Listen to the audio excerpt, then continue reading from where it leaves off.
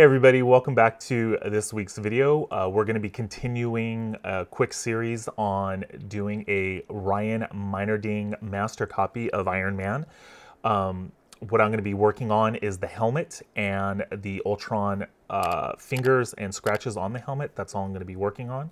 Uh, I thought I was going to be uh, working on the blast coming out of his hands as well, but this is taking a little longer than I thought.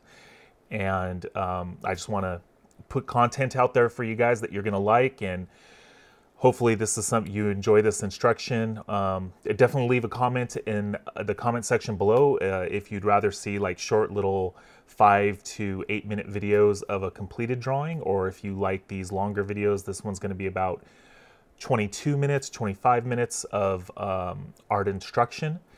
Um, again one of the things you want to keep in mind when doing something like this and when watching YouTube, a lot of these drawings don't take an hour. They don't take five minutes. They can take 10, 20, 30, 40, 80 hours. It just depends on what uh, is being drawn and how many people are working on it. Uh, it's, it's, a, it's a long process. But overall, it's my belief that everybody out there can draw. You just have to apply yourself. It's like learning a language. If you sit down and use that language, whether it's Spanish, English, German, Portuguese, whatever it is you might want to learn. Um, you have to sit down and use it. You have to practice. You have to apply yourself every day. And that's the same thing with drawing or art or painting. You, as an artist, you need to sit down, or, and I need to sit down every day and and draw and practice, figure it out, figure out what it is that I want to draw or what it is I want to learn, and start learning that. Um, it's not just blindly one, one of the best pieces of advice I got from an art teacher who's just an amazing uh, painter, and I'll put a link to his website below and his name up on the screen.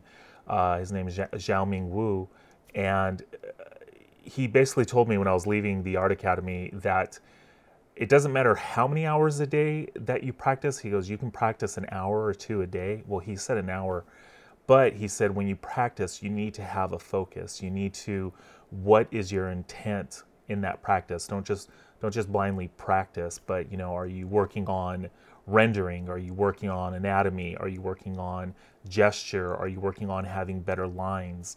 Um, yeah so basically you want to have a uh, goal when you're practicing and you might not achieve that goal in that first hour and, and it might take a couple weeks but you're you're not just drawing circles or you're not just drawing eyes but you're you're you're focusing on something and maybe it is circles maybe it's ellipses that you're trying to work on getting that uh, a good ellipse.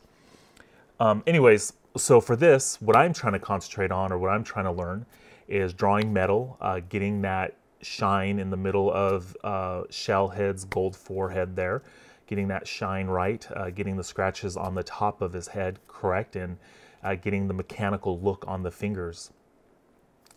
So uh, let's just get on with the lesson. If this is something you like, definitely hit that uh, thumbs up, hit that like button, uh, comment below uh, what you'd like to see in the future, what you liked about this video, what you didn't like. Um, it's definitely going to help out in the process.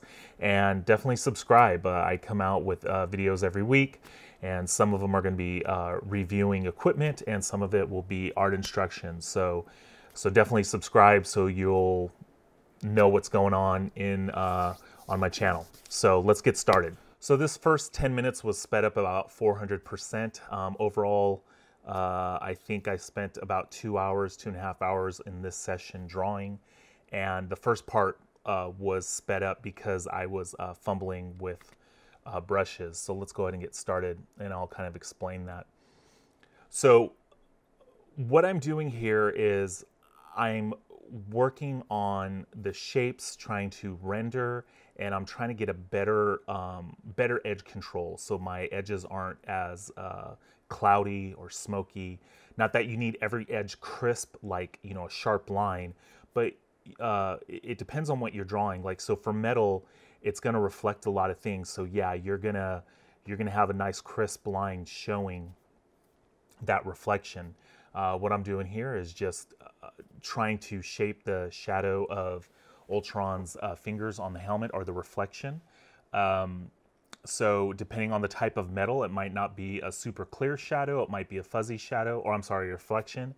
It might be a super clear reflection. It might be a fuzzy reflection. That all depends on the metal that's being reflected. If it's a chrome, yeah, it's going to be like a mirror. Uh, if it's a brushed metal, it's going to be more of a fuzzy, not even a fuzzy reflection, but it's almost going to be like a fuzzy shadow. So those are things to take in, into account that different metals or different textures of metals are going to reflect differently. So getting back to why I sped this up, and a lot of times people, they want to, how do I draw faster? So one of the ways is it's about time management. It's not about drawing fast and being fast. It's it's just about time management. So this is sped about this is sped up about 400% and for the first and that's 10 minutes. So i think this session in actuality was about 30 to 40 minutes okay? But you're seeing 10 minutes of it. I spent the first 30 to 35 minutes fighting this brush. Like i, I didn't know what was going on with it. I thought i was doing something wrong. Um, and i didn't want to I, I towards the middle of that session i was getting to what i needed to change in it and i realized what was going on but within that 15 minutes I didn't stop and change the brush because I didn't want to mess around with say, you know, stopping how do I want the brush? Okay, I need to save the brush and reposition it. So I wasted about 30 to 40 minutes fighting this brush. So many times, speed, quote unquote, speeding up your drawing, all it is is not fighting your equipment. If you know that you need to reconfigure your brush, reconfigure your brush. You're going to save time. If you know that you need to use a certain color, use that color or that value. Um, don't fight what it is that you think you need to do because uh, many times that that is what's going to uh, delay your process. And it's not about like, oh, did I make that brush stroke super fast? It's just if I didn't fight the brush, I would have saved about 30 minutes. And so that's quote unquote drawing fast. Um, another way, um, so you can see me going here and doing some, um, uh, picking some colors and going back and forth, uh, trying to make some shapes. So with this type of brush, because there's an opacity to it, a light opacity, uh, that means, um, uh, or trans it's, it's a bit transparent. It's not at 100 100% opacity, which means it's just like a color crayon. It just it just paints right over. There's it's like I think at like 80% opacity or 70%. So um, some of the other color will show through and you can blend it. The point of that being, because there's an opacity, I had to kind of go back and forth over the area to to blend the area, which is fine.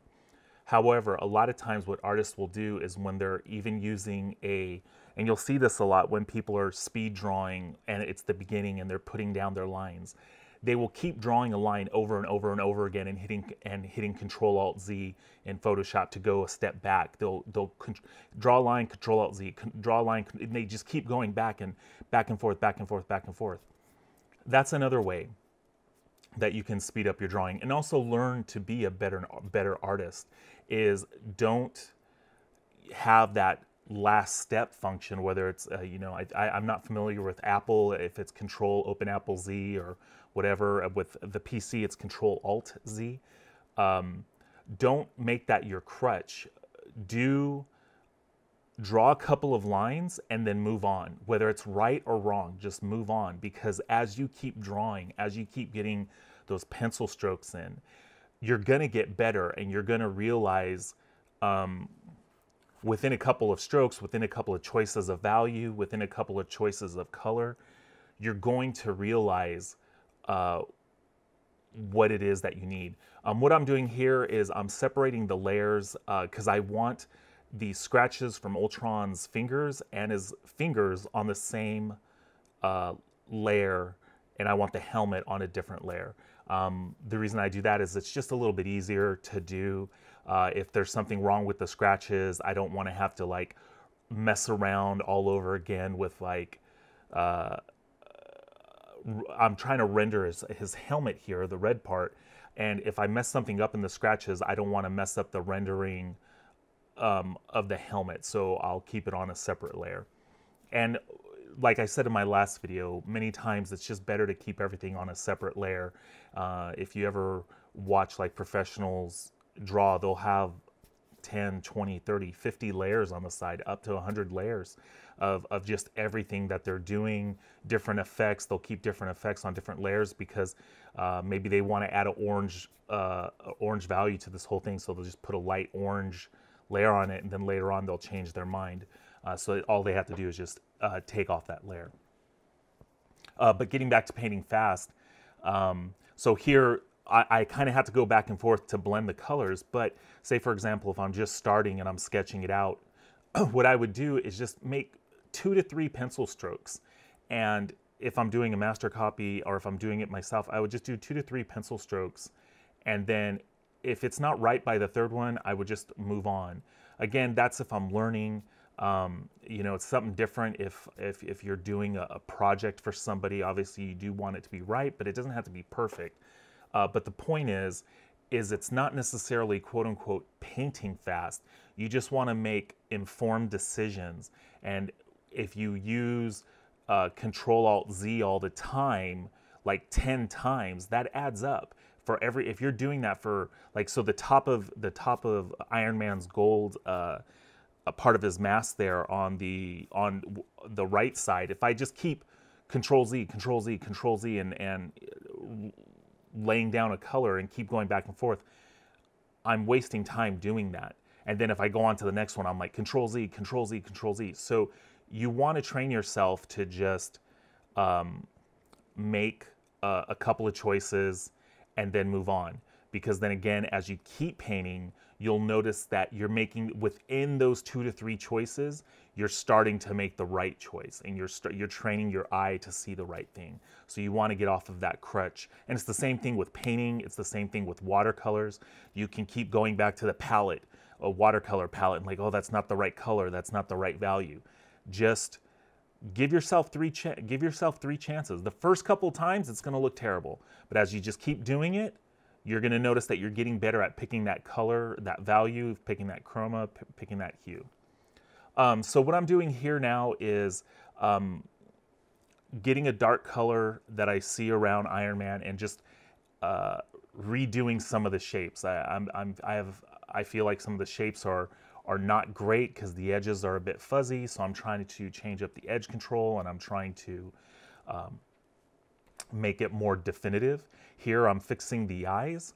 And uh, one thing you want to do with the eyes is we're as an as people and as viewers of art, uh, many times we're going to focus on the eyes. So if you're doing something of this level of, of detail, not even detail, but just realism, let's call it realism, or even if it's an expressionist or sort of realism, you want to make the eyes really good because uh, many times that's what people are going to focus on. And I never thought about this until a teacher told me that. And I would, if you see Iron Man on the left, I would keep it keep it zoomed out like that much, and I'd be, man, I can't get these eyes right. And it was really funny because he goes, yeah, just zoom in like this, and he just zoomed in like even bigger than what you see on the right. He zoomed in even more, and he just used a, a regular brush and just started getting in there and, and erasing and made things clear. And it didn't dawn on me to just, it's okay to zoom in.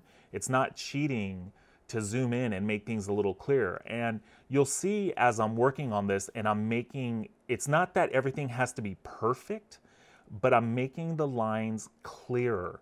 They're not as fuzzy around the edge.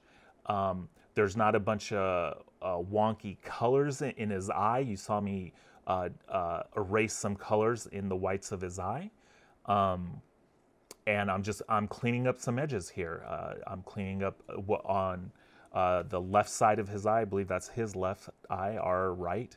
Now I'm going to the right eye. Same thing. I'm just, all I'm doing is trying to find a good, a good value to use and I'm just cleaning up the shapes of his eyes and making the lines a little bit more definitive, less hazy.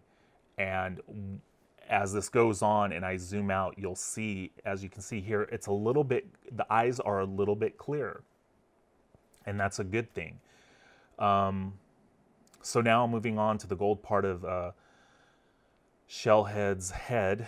And so I'm trying to get the the shapes of the values of the the high, the highlight. I'm trying to get that shape right. I'm trying to get the orange value, um, that chroma. Not necessarily okay, is that orange? What I'm trying to say is I'm trying to match the shape that I see on our, our left. Um, that's what I'm trying to do first, and I'm just basically using the color to do that, and then doing the same thing on the bottom, just trying to match the shape, but also trying to get the right colors. As you can see, I put that like yellow orange in there uh, because that was missing. Um, so yeah, so I'm just going through that and, and trying to get that, that shape right here. And after a while, you'll see that I'm also trying to blend, blend the colors. So the problems that I have that I'm working on with digital painting is I have friends, they'll use this brush and they're professionals, and I'll make another video on what this brush is because a lot of professionals use this brush. Um, it's just a basic one you can make. And um, they will just have a very smooth transition. You don't see any brush marks like you can see on mine if you look on on our right, on the upper right of his uh, gold's part of his head. It's uh, there's a lot of brush marks going on um, even uh, in the middle of his head there. Uh, so the goal for me is to um, get rid of those brush marks, have a smooth transition. Um, sometimes uh, some materials, whether metal or or uh, human skin, yeah, it's going to have little marks, or or somebody might, might be wearing clothes where the brush marks might look great because it, it defines a form. But in this instance, uh, what I'm trying to learn is to handle the brush in a way to where I can blend the colors and I can go from a dark value to light value and you don't see the brush marks at all. Uh, that's what I'm trying to go for. And again, it, it doesn't have to, I'm not talking about perfection, like, oh, you know, okay, does this pixel match Ryan's, uh, Ryan's pixel? Um, I'm just, I'm trying to get a good compromise and for me, just learning about metal, and then also, like as you can see, I'm working in that upper uh, right-hand corner, and I'm just trying to get rid of the brush marks, um, but blend as well. And it's tough. So that's what this is about. It's it's about learning, and it's about uh, understanding hue, value, chroma, and um, how light something needs to be, how strong of a color something needs to be, how much how saturated the color needs to be. And as you can see here, um, I'm going back and noodling with the shape. This is another way you can, this is another way that you can paint quote unquote fast again, is don't keep noodling with shapes or with things that you think are okay. It's like just just do it and move on. Um, it again, this is practice. We're talking about we're talking about practice, like Allen Iverson said. Practice. Uh, anyways, we're talking about practice here. Now, if you were doing something for a Hollywood movie or for Disney or for Pixar and it was a finished piece, even there, they want you to draw fast. They don't care. They're like, just get it done. Like you can turn it, if it's storyboards, like I've done storyboards for some companies and um, you can turn it in stick figures because it, well, maybe not stick figures, but it's a pretty quick, it's a pretty quick gesture because they just want it quick. But when you're doing something like this, that might be, um, so say uh, Ryan Meinerding, Meinerding, he knows, I would assume that he knows this is going to be a finished piece that's going to go out to the public. So yeah, you're you're going to want things to be good and and quote unquote perfect, but it doesn't need to be done to perfection, but it has to be done well. The point that I'm just trying to make is for me this is practice. I don't I'm wasting my time and I've actually ruined what I did by noodling with it again. And so that's the point is just get it to where you want it and and move on because I'm not even in the detail stage yet. I'm just in the put this put the shapes down stage. Put the shapes down, put the values down, put the colors down, kind of get those in the right places and then sort of start to render them together so there's not a lot of brushstrokes. I'm not even in the detail phase yet. So what I did here, again, this is sped up. Now this section is sped up about, about 300%, but I just wasted about 15 to 20 minutes by re-noodling that. And now I, I pushed my drawing back and now I'm back to where I was before, but I'm actually still a little bit behind. So, so the point that I'm just trying to make is do a section and move on and just do that. Like normally, sometimes what I do is I just start from the top of something and do one pass going down. And I, and when I'm done with that pass, I do the same thing. I work from the top and I go down. And every pass is a little bit more detail, a little bit more detail. But again, um, don't, I, I, don't, I'm not trying to say, um, don't fix something. That's not what I'm trying to say. What I'm trying to say is like when it's practice, when it's something like this, and you're just learning. What I did was I started noodling with that highlight again and I actually pushed myself back. When you're doing something like this where it's just practice, don't get wrapped up in the details. Just throw, you know, throw throw in the larger shapes, get what you need in that area and then just move on. And then when you get to the rendering phase, okay, let me start rendering from the top down. I'm gonna, you know, start from the top of this helmet, work my way down. Okay, I rendered I rendered that. Okay, I need to get a little bit more details. I need to start getting the edges of things and putting in ed. I need to work on my edge control. Okay, edge control, top down. Okay, some of the colors aren't right, or some of the hue isn't right, or the values aren't right. Okay, I'm to start from the top and I'm just focusing on hue, value, chroma going down. And that way, you're not working on his left eye on one thing and then going up to the upper right part of his helmet working on something on a, some other detail. And you're just you're basically confusing yourself. You're just gonna slow yourself down. Um, so again what I'm doing here is I'm trying to get the shape the shadow shapes right or the the hue shapes right uh, of like say that dirty metal area and you know I'm trying to get the oranges in there and the yellows I'm just trying to get the shapes right of all the the the the the um, the form that's going on, that's happening as it's going around his helmet. Uh, I'm just trying to lay down some colors uh, to, to, and values to to represent that. And um, at this point, and I have done some I have done some rendering or uh, overlapping of the um, brushstrokes to try to make my to try to make my brushstrokes disappear. And I, I, think I've done that well on his forehead and around his nose. Uh, I think around his mouth needs a little bit more work. But again, all I'm doing right here is, as you can see on his the bottom part of his mouth, is I'm just separating the different uh, values and the different uh, hues that are going on, and I'm just making separations because you could not you could not render this whole thing, but if you have good shapes and they're separated and they represent what's going on on the drawing to the left, you're still going to have a good drawing. Um, well, I think that's going to wrap up this video. Um, we're starting to get towards the end. And yeah, and all I'm doing is just trying to, again, I'm just trying to get the, the, the shape right. And this is where I realize, it's like, man, at this point is where I realized I wasted all that time and I actually started over and I ruined the shape. And uh, I'm just trying to, now I'm just trying to pick the colors to get the right shape. So that's the end of the video, guys and gals. Uh, thanks for joining me. Uh, again, if this is something that you liked, uh, give it a thumbs up, uh, give it a like. Um, definitely subscribe. I'll be coming out with more content in the weeks to come.